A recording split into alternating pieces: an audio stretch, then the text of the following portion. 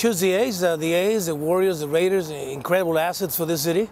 Uh, I'm one of those people that have worked very hard to, to, to retain the Raiders, retain the Warriors, retain the A's. Uh, about the issue about the Fremont A's, I've been hearing for five years. I heard about the Santa Clara A's, Santa Clara, Santa Clara, and now I start hearing uh, Fremont, Fremont. The A's belong in Oakland. Uh, the mayor of the city has the responsibility to retain these incredible assets. We have learning from our past. I believe that we can work very hard to make sure that we keep the A's. We use the A's, uh, uh, building a stadium that will re- revitalize uh, some area of the city of Oakland. Uh, I'm willing to work hard to try to make that happen. Uh, everything within reason.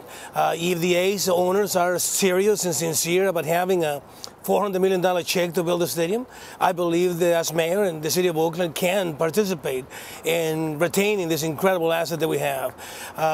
The A's are one of the last professional sports that a working family actually can take their children to.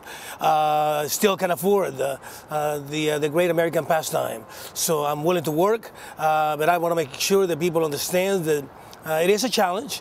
Uh, I'm used to big challenges, and I will work very hard with the A's. If they're serious, we're serious. Uh, that I believe that the A's belong in Oakland? Absolutely. That I believe we can keep them? Absolutely. That I will work very hard to make it happen?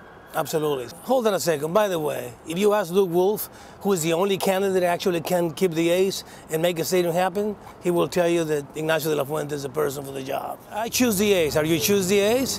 What you can do is organize.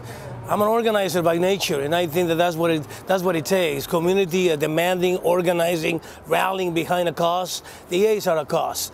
And that's the reason why I believe that the A's are a good thing for Oakland, and I will work very hard to make sure that they stay in Oakland. Choose or lose the A's, Ignacio de la Fuente staying behind and keeping the A's, keeping the A's, and keeping the A's.